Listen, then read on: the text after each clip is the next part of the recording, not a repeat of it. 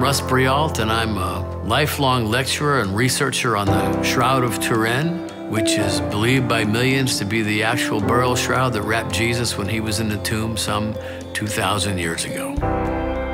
When I was growing up, um, I didn't come out of a religious home. My dad, in fact, was a professing atheist, and by the time I came along, the sermon I heard growing up was, Son, there is no God. Religion is fine for those who need it, but I see it as nothing more than a crutch for the weak. And uh, the first 23 years of my life, I had adopted my dad's atheism.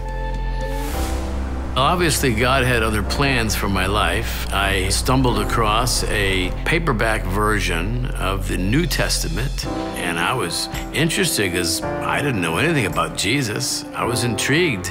And so uh, I came to faith through a Bible that I stole from a hotel room.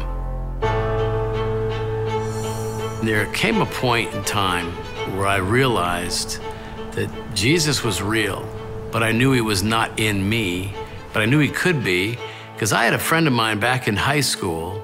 He gave me all these Bible tracts, and I knew that there was a prayer in there that I could say, that I could ask Jesus into my life. And, and I said that prayer over and over and over again. And as God is my witness, on the morning of the fourth day, I woke up that morning and I felt like everything had changed. Everything.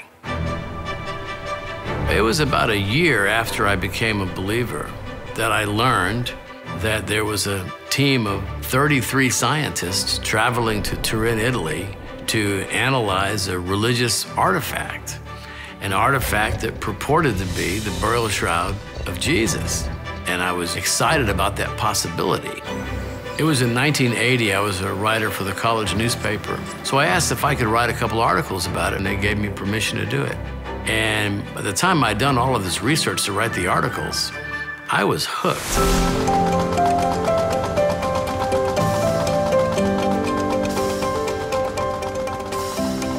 I never went to school for the shroud, but I can guarantee you I have a PhD in it. I have presented hundreds upon hundreds of presentations that I brand Shroud Encounter, and I've probably lectured at over 80 colleges and universities and well over a thousand churches uh, from Maine to Hawaii and all through Canada.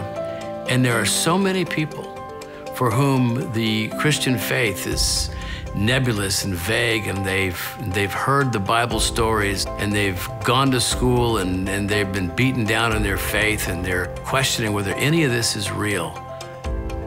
And the shroud makes it real. And that's why I've been doing this for 40 plus years. It really is an exhilarating thing when you know that someone has placed their faith in Christ because of something you said or something you did.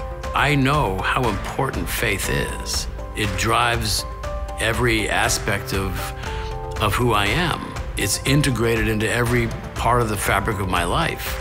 And so I know how it can be transforming. And so it's exciting when someone comes to that same place of faith.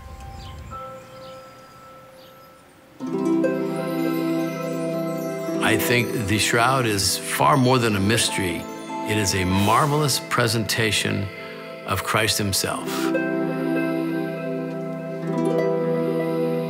The shroud is a burial shroud that has wrapped a corpse. It's 14 feet long, three and a half feet wide, so it's a long, narrow cloth made out of flax. This cloth bears the faint image of a bearded, crucified man, about five foot ten in height, he bears all the same wounds as uh, what uh, Jesus sustained.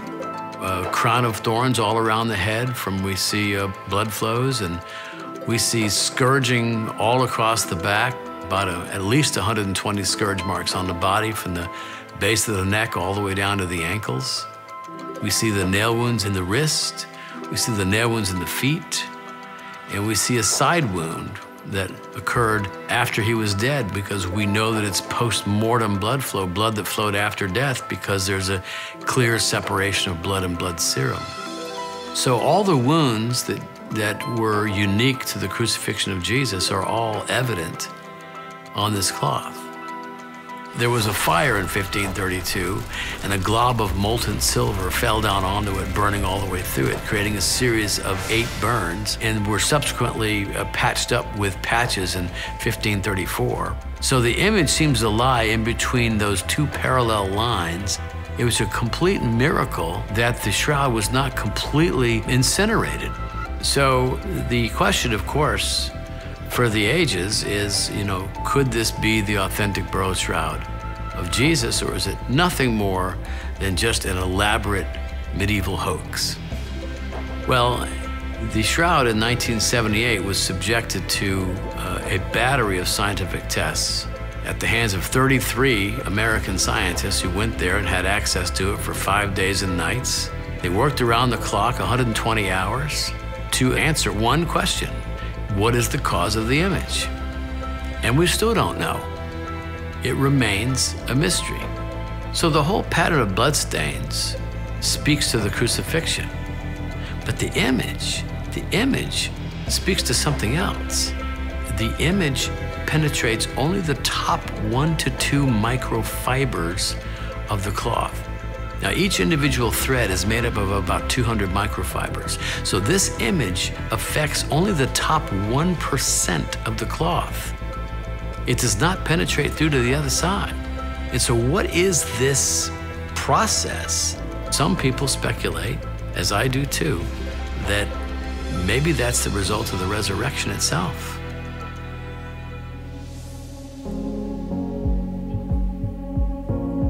One of the beautiful things about the shroud is that it goes to the very bullseye of the Christian faith. And it does the very same thing that all four Gospels do. They testify to the life, suffering, death, and resurrection of Jesus. And that's exactly what the shroud does.